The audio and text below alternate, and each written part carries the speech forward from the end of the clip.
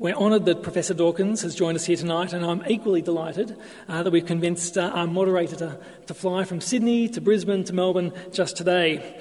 Uh, his voice will be known to most of you. Our moderator is the irrepressible Robyn Williams, science journalist and broadcaster, and host of, among other things, The Science Show on ABC Radio National. Would you please join me in welcoming Robyn Williams?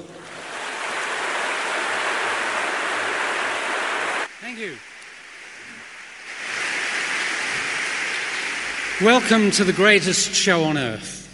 Well, the book.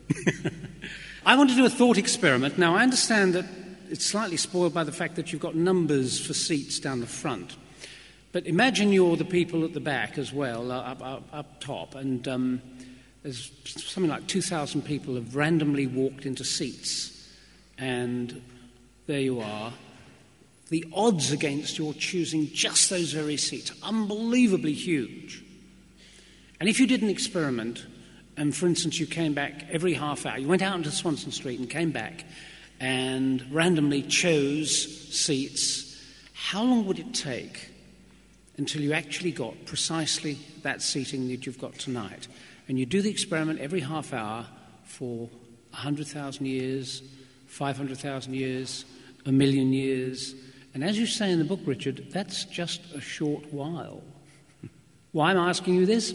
Because some of the examples that you give in the book of the way evolution operates, I found really thrilling. Would you tell the story, for instance, of those bacteria and the experiments that went on for 20 years to see whether you had a set of, I think it's 12 lots of bacteria to whom you feed, or not you, but a person doing the experiment, feed glucose to see if you could keep the colonies going and how much they would actually change by mutation.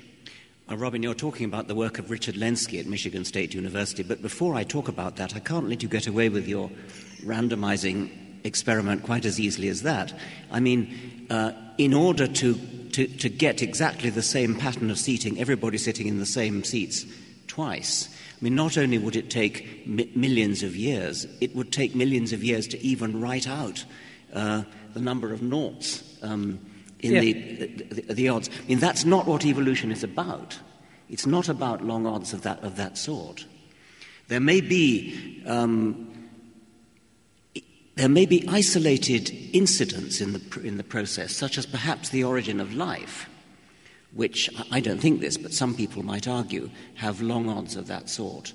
But once the evolutionary process gets going, we don't have to talk about long odds like that. I mean, we've got a, a, a process that actually guides it. That's the point. And so, yes. and so something like making an eye or making a knee joint or something is, if not exactly inevitable, it certainly is, is not um, the kind of thing you'd illustrate by a randomizing experiment like that. You, you might well illustrate the origin of the universe like that. I don't know. Well, could you illustrate that through the organizing pattern of those very bacteria, which then produce something which has been studied over such a long well, time? Well, okay, let's, let's talk about these bacteria of, of Richard Lenski. The point about bacteria is that, unlike us, who have a sort of generation time of about 25 years, these bacteria, E. coli, have a generation time of, I don't know, about 25 minutes. And so you get an awful lot more evolution in, uh, in, in a human lifetime. So what Lenski did was to set up what I call his 12 tribes of bacteria. He had 12 lineages. Each lineage you could think of as a row of thousands and thousands of flasks filled with glucose and other um, nutritious substances. And so he inoculated all 12 of the first row of flasks with bacteria drawn from the same population. And then every day he would let these bacteria population grow, and they grew exponentially and then flattened off as they reached saturation. And then it started to become competitive in the flask. And then, the same time the next day, he would draw out a little drop of uh, a fixed amount, a, small amount.